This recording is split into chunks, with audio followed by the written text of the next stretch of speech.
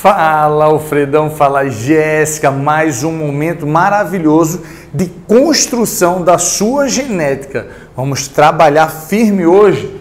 Noções de probabilidade, relações de dominância, aula importantíssima. Como eu falei, estamos começando, construindo a base para começar a pancadaria, beleza? Então segura na cadeira porque a lapada é grande. Roda essa vinheta. É isso, meu povo, é isso, essa é a ideia.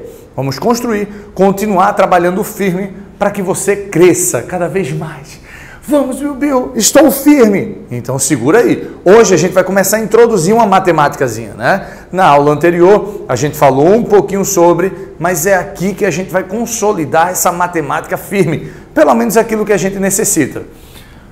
Noções de probabilidade. Eu preciso muito que você lembre que probabilidade nada mais é do que a chance de um determinado evento ocorrer. Beleza, é isso? Ah, Bibi, como assim? Ah, qual é a chance de eu ganhar na Mega Sena? Meu pai. Tu tá entendendo? Existe, existe. Mas é difícil. É porque eu tenho várias pessoas concorrendo. Várias pessoas também podem ganhar. Deu para entender? Mas vamos diminuir esse espectro. Olha para cá. Quando eu falo em um dado, o dado tem seis faces. Então, na probabilidade, eu vou colocar o quê? O número de eventos que eu desejo sobre o número de eventos que podem ocorrer. Como assim, meu Bill? Ó, qual a chance de eu jogando o dado cair com a face 1 para cima? Eu vou aqui, ó, né? A face 1, 1 aqui. Mas tem quantas faces? 6. Então, um sexto. Ah, Bill, Bill, e se fosse a face 2, 2 sextos. E se fosse 3, não fale isso não, viu? Não faça isso não. É o número de eventos e não o número da face. Beleza? Tranquilo isso? Então, um sexto. Quer ver outro exemplo? Qual é a chance de eu jogar uma moeda e cair a coroa para cima? Eu quero um determinado evento de dois possíveis. Mole, não é não? Acho que isso aí é tranquilão. É aquilo que a gente viu nas, na aula anterior.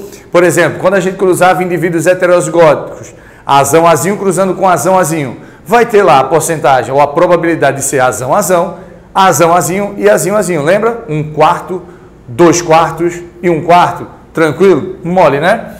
Acho que muitas vezes complica quando a gente começa a trabalhar com eventos simultâneos. Como assim? Se eu jogar o dado e a moeda ao mesmo tempo, qual a chance de cair, desculpa, de cair a face 1 voltada para cima e a coroa e a coroa? Eu quero os dois eventos. Só vai me satisfazer enquanto eu jogando lá o dado e a moeda, se cair o face 1 para cima e a coroa. Aí vocês devem se quiser a face 2, tudo bem, é o seu desejo. Foi. Quando eu falo da regra do ir, eu multiplico os eventos. Então, por exemplo, um sexto de cair com a face 1 vezes um meio de cair isso aqui, ó. Isso aqui vai dar quanto? 1 vezes 1, 1, 6 vezes 2, 8. O quê? 12. 1 dozeavos. Beleza? É a chance de isso ocorrer.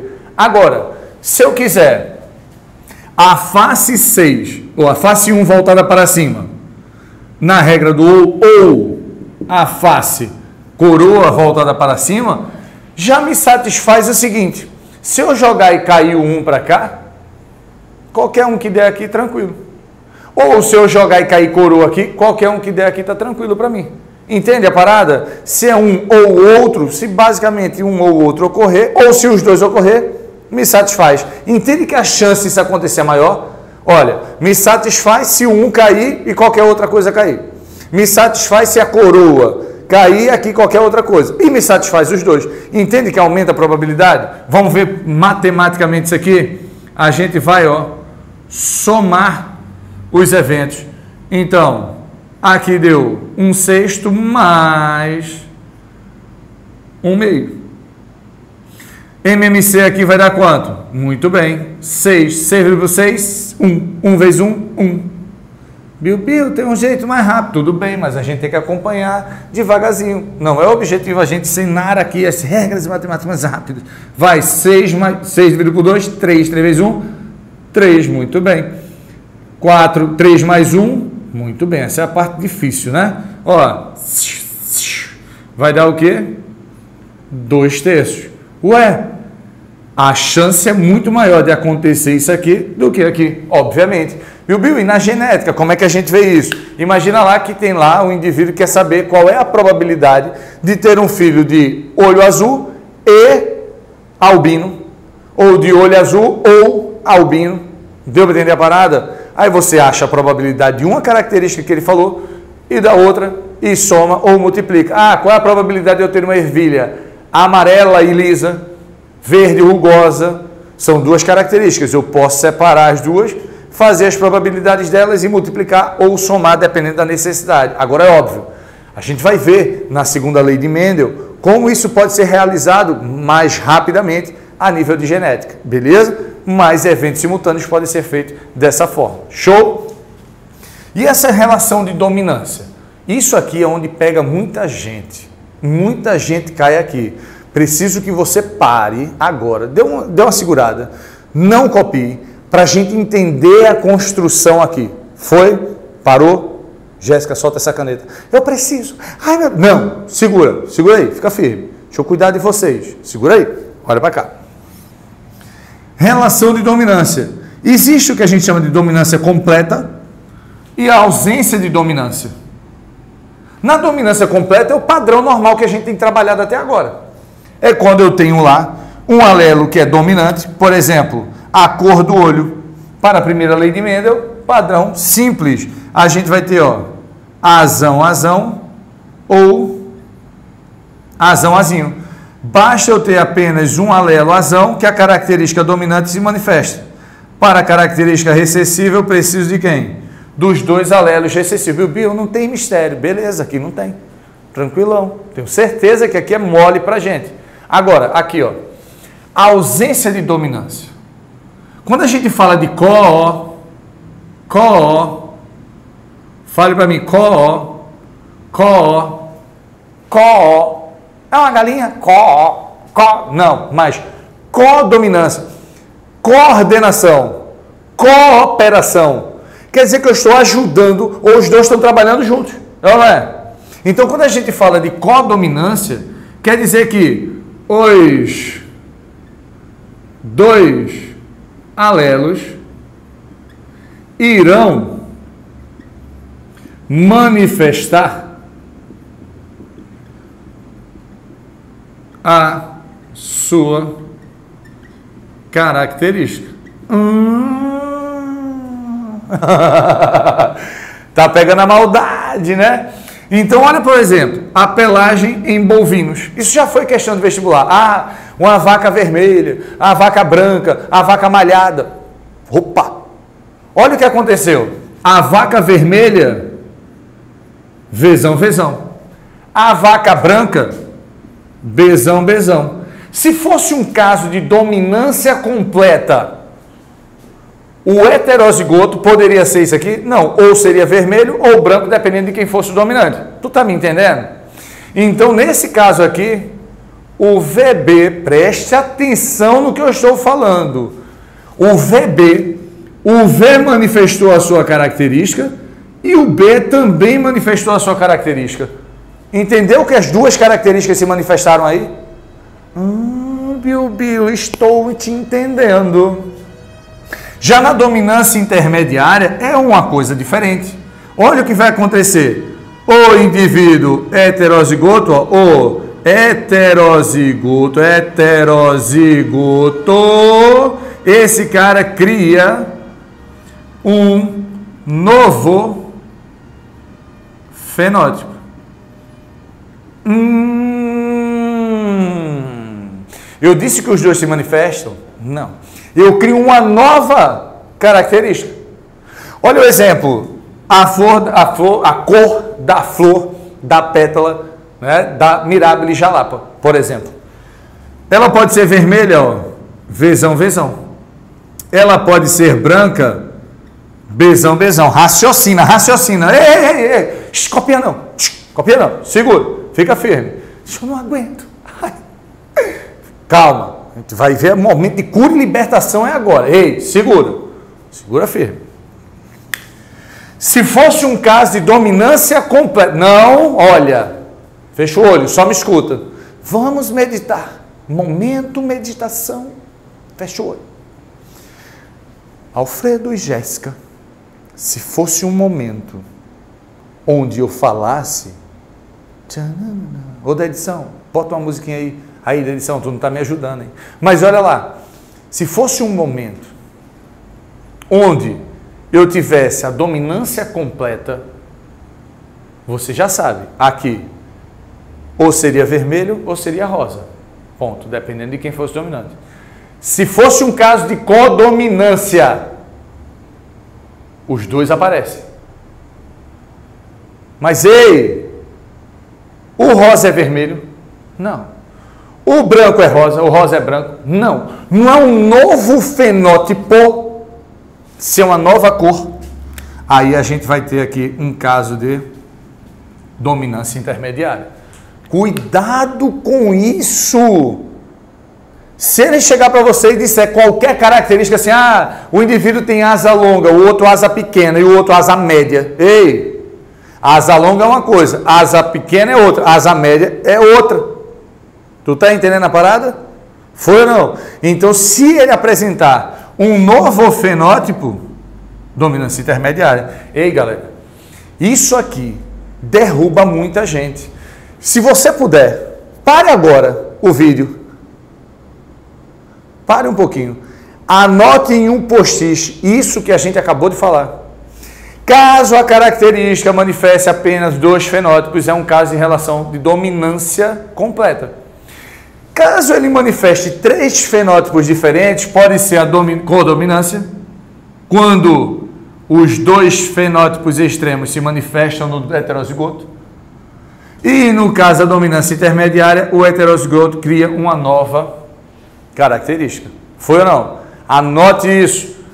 Dominância completa, o heterozigoto manifesta a característica dominante.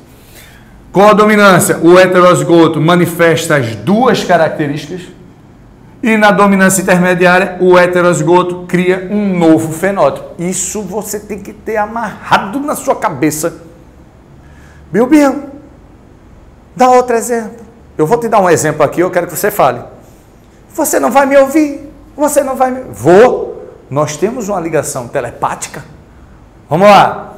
Tipo sanguíneo, olha lá. Isão A, Isão A, tipo sanguíneo A. Isão B, Isão B, tipo sanguíneo B. Isão A, Isão B, qual é o tipo sanguíneo? AB. Ai, meu Deus. Estou entendendo. Isso é um caso de codominância ou dominância intermediária? Muito bem, codominância, porque o isão A manifestou a proteína A e o isão B manifestou a proteína B. Então o cara ficou AB porque ele tem os dois manifestores. Menino, estou entendendo. Tu está entendendo a parada? Foi? Tranquilo? Galera, isso é difícil de entender muitas vezes, mas aqui a gente está como? Tirando onda com a dificuldade. Ó, rio na cara do perigo. a hiena atrás. Mas nos confia porque a hiena vai chegar. Lembra do filme?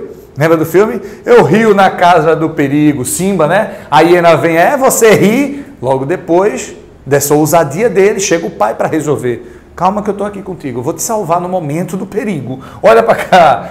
E agora, polialelia. Poli, poli, quer dizer o quê? Vários ou muitos? Fala para mim, vários ou muitos? Muito bem. Nesse caso aqui, ó, mais de um alelo na verdade, dois, né? Mais de dois alelos para determinar a característica. Como assim, Bill? Eu vou ter mais de um alelo, na verdade, mais de dois, né? Que a gente está trabalhando assim, né? Azão, azinho, bezão, bezinho, só dois. Ou é azão, ou é azinho, ou é bezão, ou é bezinho. Agora a gente vai ver mais alelos. Bilbil, mas por que esses alelos surgem? Mutação. Mutação. A mutação, ela vem justamente para isso, para alterar esse material genético, e aí o ambiente é que vai selecionar se isso vai dar certo ou não. É o ambiente que vai dizer, beleza, essa mutação ficou, foi bom.